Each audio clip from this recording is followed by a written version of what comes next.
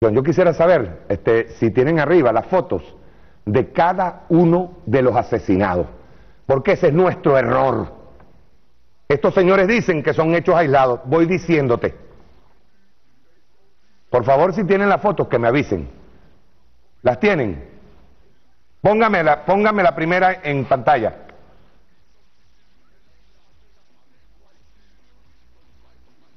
El señor se llama Henry Rangel La Rosa Carizábal.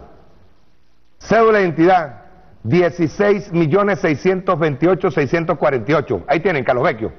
Esa es la cara de un camarada que a la edad de 32 años recibió un disparo que le produjo la muerte. El hecho ocurrió en el sector El Campín, municipio Córdoba, del estado Táchira.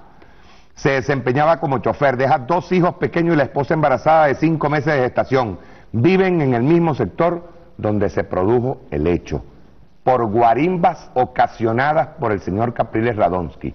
Pónganme la segunda imagen. El señor José Luis Ponce Ordóñez, de 46 años de edad, falleció por impacto de bala cerca de las instalaciones del CDI Piedra Azul, municipio Baruta, estado Miranda.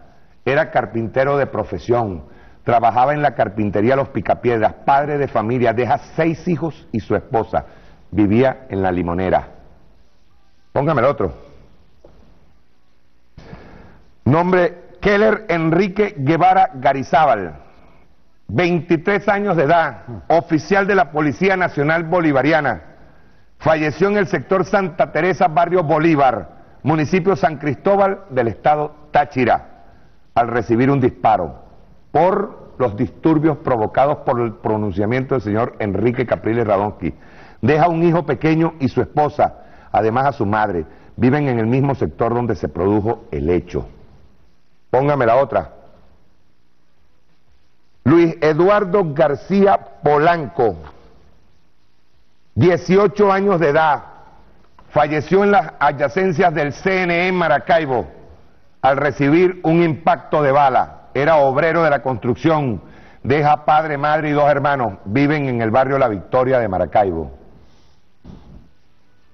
Póngame el otro. Johan José Farías Varela.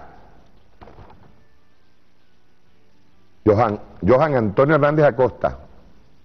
tenemos aquí, hay diferencia de nombre. Perteneciente a la etnia Guayú, y fue arrollado cerca del lugar donde ocurrió, perdón. Johan creo que es de Sucre. Johan. recibió siete impactos. De nombre y apellido Johan José Farías Valera, cédula de identidad 22 años. Déjeme ver, a ver si le tengo quién es. No lo tengo acá en el, en el, en el resumen. Pero, este fue asesinado en Sucre y sus familiares denunciaron que recibió siete impactos de bala por las hordas fascistas de Capriles Radonsky. Va ahora, póngame el otro. Rosy, este, Rosiris, del Valle Reyes Rangel. Esta es la limonera. De 44 años de edad, ella es la que muere con Ponce. Con Ponce. 44 años de edad falleció por impacto de bala cuando se encontraba cerca de las instalaciones del CDI en Piedra Azul, municipio Baruta. Era obrera y luchadora social madre de tres hijos, viven en la limonera.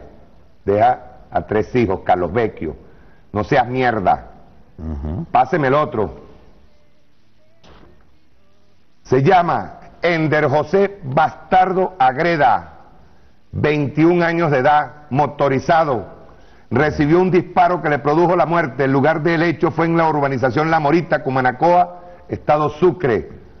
Soltero, deja un hijo de tres años de edad a su padre y madre y siete hermanos viven en el mismo lugar de los hechos. Póngame el siguiente.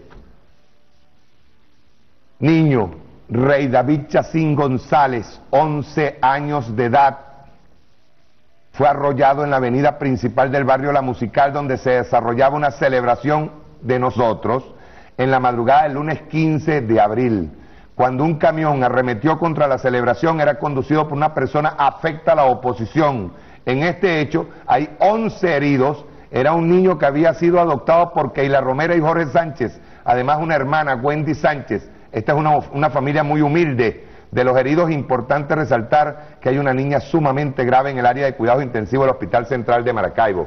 Páseme el otro. Johnny Alberto Pacheco Cervera. A ese lo buscaron. Oíste, Carlos, a Johnny Pacheco, lo buscaron. Porque él fue el que presenció la muerte de Ponce y de Rosinés del Valle. Y lo mataron también. Johnny Alberto Pacheco. Un disparo en la de 37 años, un disparo en la cabeza. Vete para acá. Hechos aislados. Hechos aislados, Carlos. Salen tus abogaditos del foro penal y después sales tú con la voluntad popular a los que están amenazando. Y encima, mientras tanto, en el Twitter, Leopoldo y Enrique están amenazando con que, como llegaron las rectoras y dijeron claro y raspado que no va a salir nada nuevo, siguen con el temita del fraude. Les vamos a decir una vaina. Porque ustedes dicen que el presidente Maduro es ilegítimo, está bien. Vayan a sacarlo de Miraflores. Vayan. Los vamos a esperar allá para que lo vayan a sacar. Vayan. No vayan a hacer lo mismo que hicieron en el 11 de abril, ¿no? Que auparon a la gente y después se perdieron y se escondieron en su casa. Para después salir, cuando vieron que Chávez estaba preso, salieron con sus hordas fascistas a tratar de joder a la gente en la calle. No, no, no, no. Vayan ustedes de frente.